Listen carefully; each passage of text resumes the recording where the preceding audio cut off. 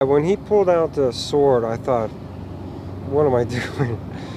I thought, is he really going to do this? I couldn't believe that he was going to really try to kill me for a cart. Todd Beavers living to tell the terrifying tale, coming face to face with a man swinging a sword at him in his front lawn.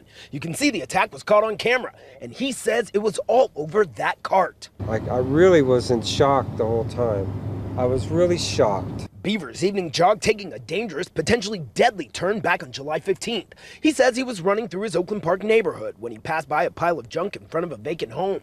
I saw a cart in the pile, and I thought I could use that. But he says that guy also had his eyes on it, and the surveillance video shows he wasn't going to give it up without a fight.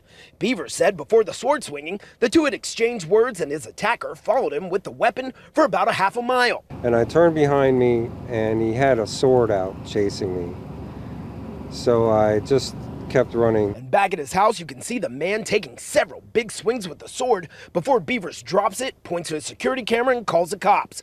Moments later, that woman in pink grabs it and takes off. I said, you know what, you're on camera. You want to take the cart, do it right in front of the camera. And she did it. You're saying that this was your wheelbarrow Yes, and you were having wheelbarrow. a garage. said had for a whole week. Yes, I did, and I have neighbors to verify that because I asked them did they want to buy some stuff also. Alice Bolden says that's her in the video, and this all started because of a misunderstanding.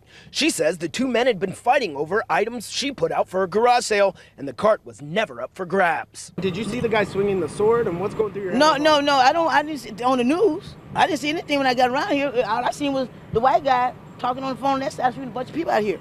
Now BSO is hoping someone watching will recognize that guy in gray and point them in the right direction. We're releasing this video in the hopes that someone can help us identify him. I should have just let him have the cart. Beavers losing the cart, but thankful he didn't lose his life. And while the search for that sword swinger continues, he's thinking twice about the whole ordeal. I really regretted it. By the time I got here with the cart and he was still chasing me, I felt like, what did I get myself into for a stupid cart?